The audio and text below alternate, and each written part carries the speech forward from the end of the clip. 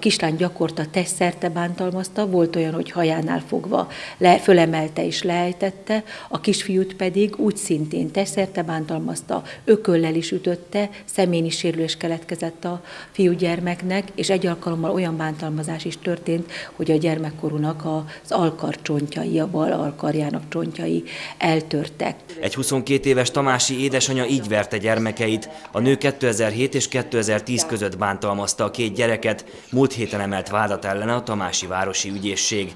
Mindeközben az apa és az élettárs nem tett semmit, így ők a vádirat szerint gondozási kötelezettségüket mulasztották el. Erre az esetre fény derült, ám sok gyakran titokban marad. Socó László megyei rendőrfőkapitány az MT-nek úgy nyilatkozott, ennek gyakori oka, hogy elsősorban nem a családgondozók, hanem például a sértettek, mentők és a polgárőrök jelzik a családon belüli erőszak eseteit a hatóságnak, ami azt mutatja, hogy a jelzőrendszer még mindig nem működik ideálisan.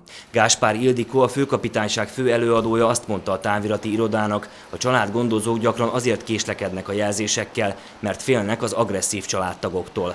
Volt olyan családgondozó, aki jelezte, nem szeretné, ha kiderülne, hogy ő jelezte az ügyet, mert fél a megtorlástól, de a rendőrség szerint ettől még kötelességük megtenni a jelzést. 2011-ben is számos családon belüli erőszakos cselekmény történt a megyében, összesen 381, ebből 23 esetben gyermekeket bántalmaztak. Pap Győző, a Humán Szolgáltató Központ igazgatója azt mondta, a hatáskörükbe tartozó 10 településen működik a gyermekjóléti jelzőrendszer, ennek segítségével derült fény a gyermekbántalmazásokra. A feljelentésekkel kapcsolatban elmondta, a gyermekjóléti központ nem hatóság, hanem egy segítő szervezet. Feljelentést csak akkor tehetnek, ha a gyermeknek nincs saját képviselője, hozzátartozója. Erőszakot az is fordulni, és ezt a jog is megengedi, hogy családon belüli erőszak esetében maga a hozzátartozó nem tesz feljelentést, hogyha bántalmazták. Itt most nem csak gyermekről, hanem bárki másról is lehet szó.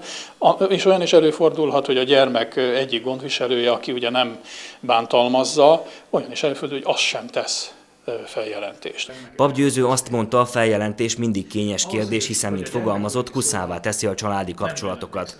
Például, ha egy anya feljelenti az apát, mert az bántotta a gyermeket, akkor előfordulhat, hogy éppen a feljelentett fél bosszút, így inkább az érintettek hallgatnak. Ez viszont már árnyaltabbá teszi a jelzőrendszer kérdését.